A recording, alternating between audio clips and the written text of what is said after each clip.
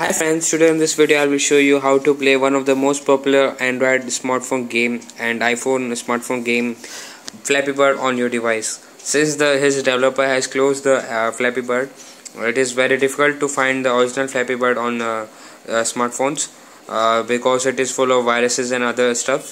So I uh, found uh, finally found a nice one I uploaded it to Dropbox so you will able to find the link in my video description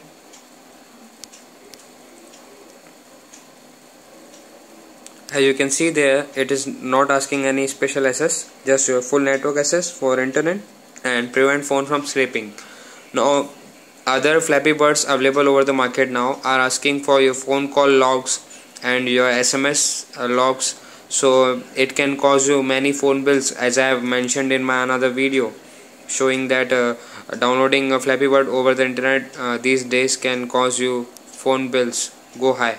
Okay guys. So I've already checked uh, this uh, APK for viruses and uh, from Malwarebytes it is very popular and very nice powerful antivirus and it is saying Flappy Bird is not harmful at all.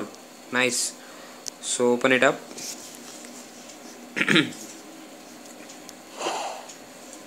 Same nice game. Now you can enjoy this game over your oh,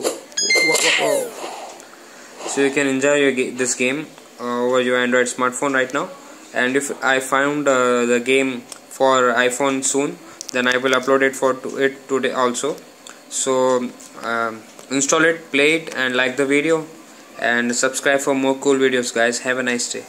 And also if you want to play this game over Windows or Mac watch my other video showing how to play this game over Windows. Thanks for watching guys. Have a nice day